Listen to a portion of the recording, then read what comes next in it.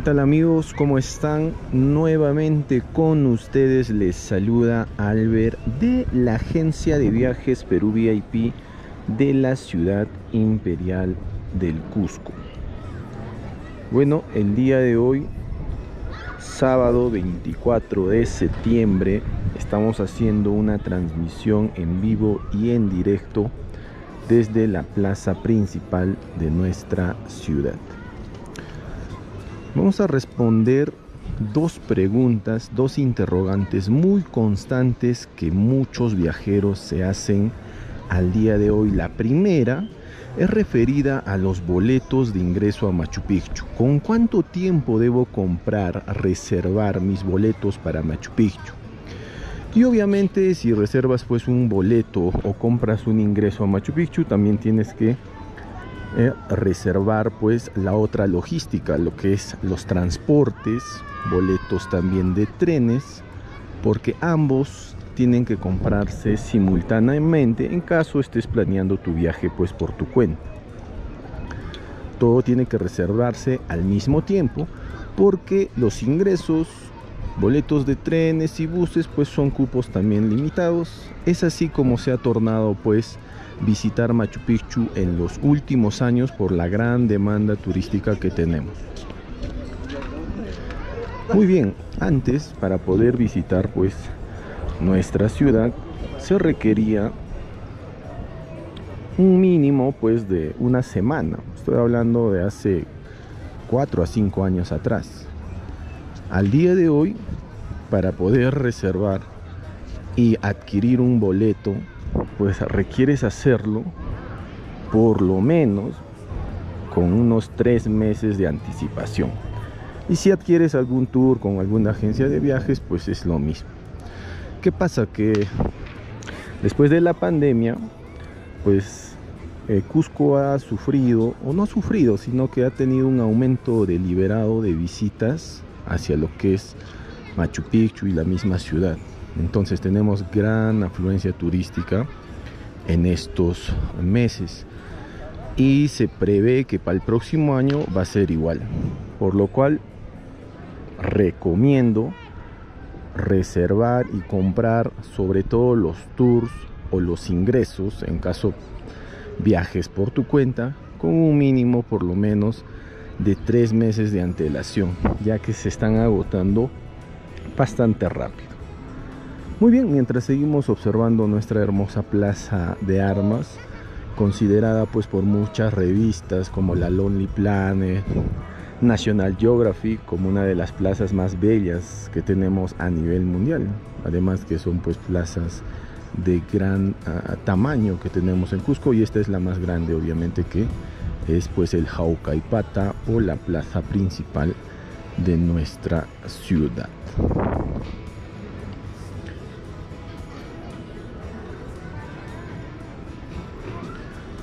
Muy bien. Eh, a ver, vamos a hacer un pequeño recorrido por aquí, por la plaza, para que ustedes puedan apreciar cómo se desarrolla pues la actividad turística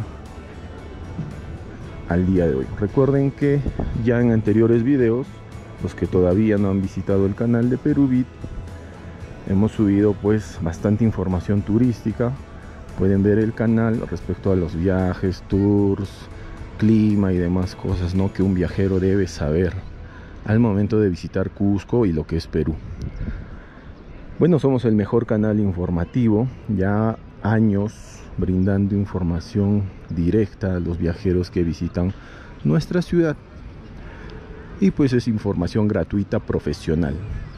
Somos un grupo de profesionales que hacemos pues estos videos informativos pues actualizados y con eh, la calidad que se merece pues todo viajero no son videos que hacemos con la información relevante y actual de los viajes a Cusco y Perú amigos recuerden que en cada ciudad turística hay pues bastantes eh, puntos donde tú puedes adquirir servicios turísticos y una de estas pues es la ciudad imperial del Cusco esta recomendación ya le dimos hace mucho tiempo respecto a dónde adquirir tours eh, en nuestra ciudad, ¿no? Porque muchos quieren viajar pues de diferente manera, otros lo hacen online con empresas autorizadas y otros lo hacen pues visitando aquí la ciudad y acercándose a alguna agencia de viajes. Es lo más recomendable. Si tú no tienes un tour, pues lo que tienes que hacer es aproximarte eh, alguna agencia de viajes recomendada. Puedes buscar pues agencias recomendadas en lo que es TripAdvisor, que es este foro mundial, Lonely Planet, etcétera, etcétera. En realidad, en realidad hay muchas, eh, muchos foros, blogs internacionales que pues son de mucha credibilidad, en lo cual tú puedes consultar antes de adquirir un tour. ¿Ok? Ahora, si llegas a nuestra ciudad, pues yo lo que te recomiendo es que contrates un tour en una oficina autorizada de viajes, una agencia de viajes, consultando obviamente, ¿no? No compres tours en la calle, no son nada confiables. En la calle puedes encontrar mucha gente que te ofrece servicios, pero pues no es gente profesional. Bueno, tengo que decir eh, las cosas claras, verídicas porque pues no queremos pues que te lleves una mala experiencia por eh, pagar tal vez unos soles menos o más comprando pues con una empresa que no te ofrece ninguna garantía ok te recomiendo siempre que pidas recomendaciones de buenas agencias y compres en una oficina autorizada con guías profesionales autorizados en la calle no ofrecen tours autorizados porque los guías no son profesionales. Obviamente se hacen llamar guías, ¿no? Pero acá en Cusco, la capital del turismo en Perú, hay universidades e institutos que ofrecen pues la carrera profesional de un guía que estudia cinco años con idiomas extranjeros y demás facultades pues relacionadas al turismo que obviamente te van a ofrecer un buen servicio. Pero si compras pues en la calle más o menos ya sabes a lo que eh, tú mismo eh, te estás pues eh, involucrando porque no es recomendable. Esto es algo muy común, es verlo en cualquier país del mundo, pero te doy esa recomendación porque es un inconveniente que siempre pasa en cualquier país del mundo. Muy bien, eh, así es como luce nuestra hermosa plaza principal. Es para hacer un recorrido pues bastante mm, arduo, ¿no? Porque en realidad esta plaza es grande, tiene muchos atractivos. Cada piedra, cada monumento que tú ves tiene una historia de más de 500 años de antigüedad. Recuerda que esta plaza fue pues la plaza antes de que sea colonial, la plaza principal de la época inca, el Jaucaipata. Y esta plaza estaba pues rellena de arena de la costa. Entonces desde la costa peruana se ha traído arena aquí para ponerla pues en la plaza hace más de 500 años atrás porque toda esta zona pues del Cusco es un valle ok es un valle y pues todo este valle antiguamente pues estaba cubierto de humedales. No era tan seco. Se requirió traer arena de lo que es la costa peruana y se han encontrado pues al momento de hacer las excavaciones arena de lo que es la costa de Perú ok posteriormente pues se acentúa la cultura eh, española aquí y obviamente ya edifican sobre los palacios muros sobre los templos incas las casas coloniales que al día de hoy vemos.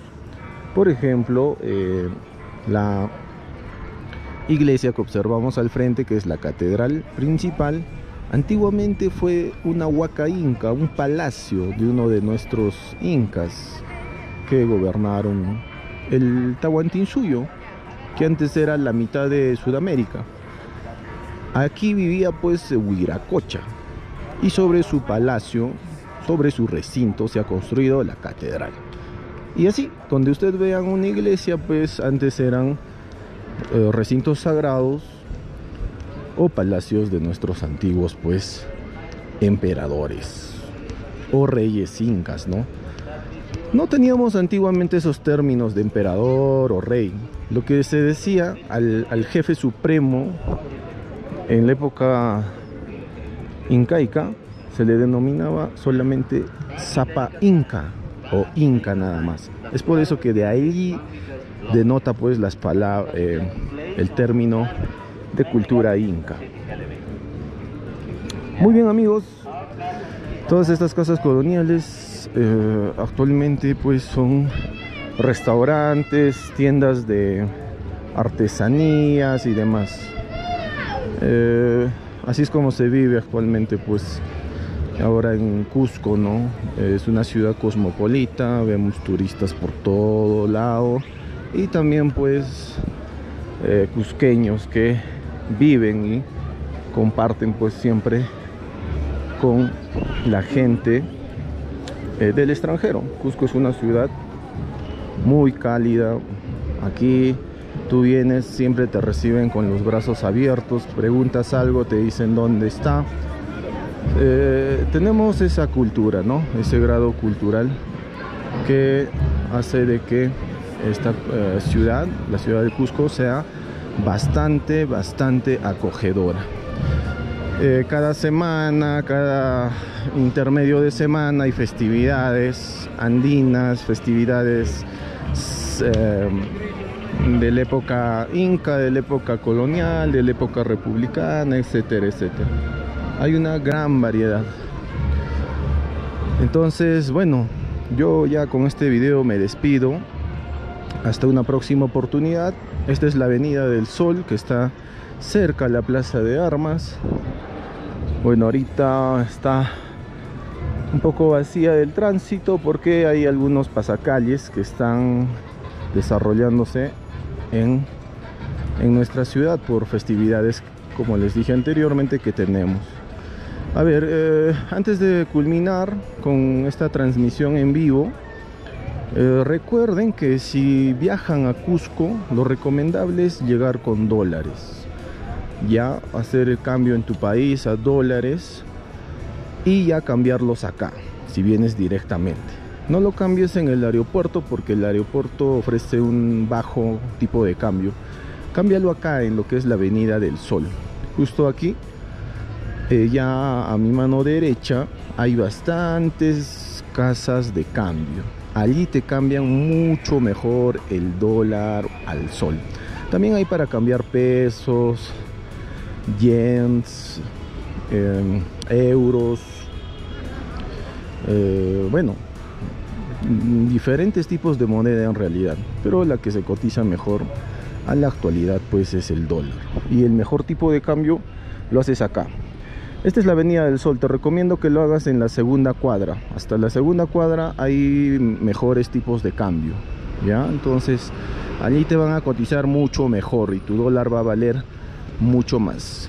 Si lo haces en la plaza, el tipo de cambio es mucho más bajo. Mientras un poquito más alejado estés aquí en la Avenida del Sol exactamente, el cambio es mejor. Muy bien, me despido hasta una próxima oportunidad. Recuerden pues suscribirse al canal de Perubit y cualquier consulta al WhatsApp que dejamos en la descripción del video.